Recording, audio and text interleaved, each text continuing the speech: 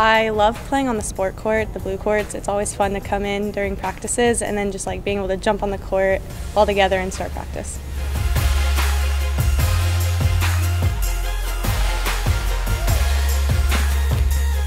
I think we've just been focusing on staying with the same process and just doing our everyday routines and all that type of stuff. So we haven't done anything special. It's just what we've been doing every day of the season, getting ready for these big matches at the end.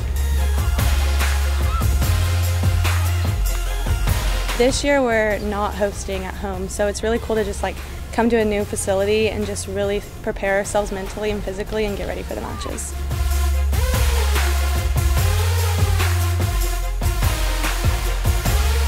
Well, I'm super excited to finally get started. It's something I've been looking forward to since I committed here, so it's so cool to be here, see the blue cord in person, and just get ready to go.